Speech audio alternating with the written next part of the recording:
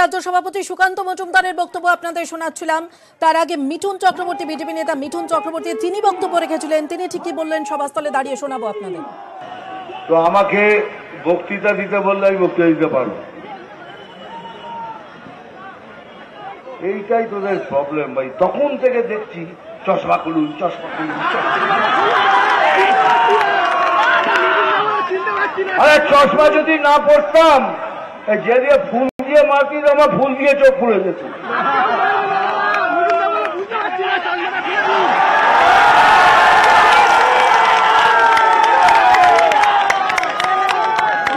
চশমা তো খুললাম। তোমরা ঠিক দেখছ, আমি দেখতে পাচ্ছি না।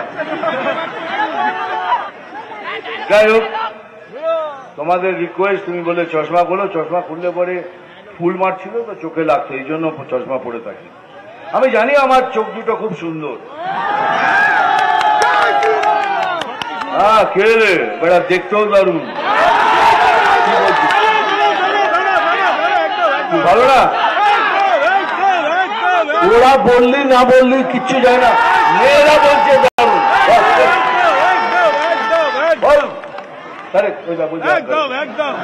একদম এইবার সেকেন্ড আমি রাস্তায় আস্তে আস্তে খিদে পেয়েছিল আমি ছোলা খেয়ে এসেছি।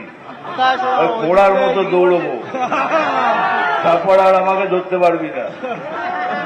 তাই ছোট করে কিছু কথা বলি। সবাই বলেছে আমাদের প্রথমে আমার প্রেসিডেন্ট তাকে প্রণাম। অগ্নি বাকি এখানকার উৎপল সবাই যারা যারা আমাদের কর্তৃপক্ষ আছেন কার্যকর্তা আছেন আমাদের সামনে তাদের সবাইকে নমস্কার।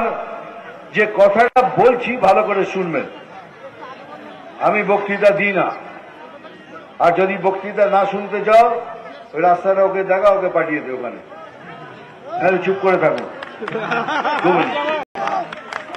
তাহলে আপনি শুনতে চান না, ওরা শুনতে চায়, অনেকক্ষণ ধরে দাঁড়িয়ে আছে। আমি বক্তৃতা দিচ্ছি না ভাই। আমি পরিষ্কার ভাষায় দুটো কথা বলছি।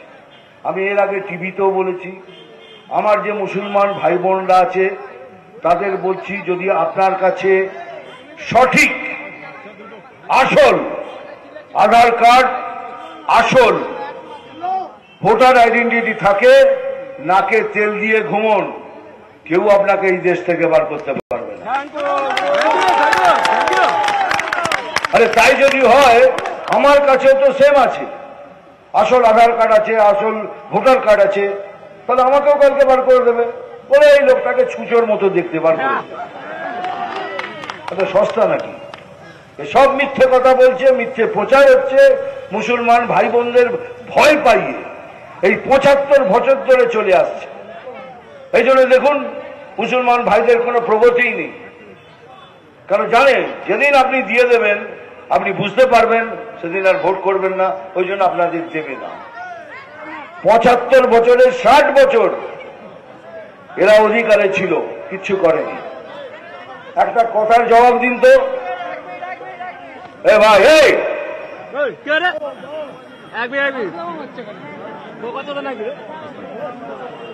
একটা কথার জবাব দিন তো। গুজরাতে একটা ইলেকশন হলো।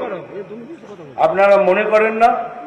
যে মুসলমান ভাই বোনরা যদি ভোট না দিত তাহলে এত সংখ্যায় কি বিজেপি জিতে আসতে পারত? পারত না। মুসলমান ভাই বোনরা ভোট দিয়েছে।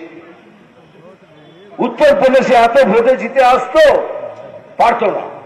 কারণ মুসলমান ভাই বোনরা ভোট দিয়েছে। তারা বুঝতে পেরেছে এত বছর ধরে আমাদের খালি মিথ্যা কথা বলে আমাদের পিছিয়ে রাখা হয়েছে।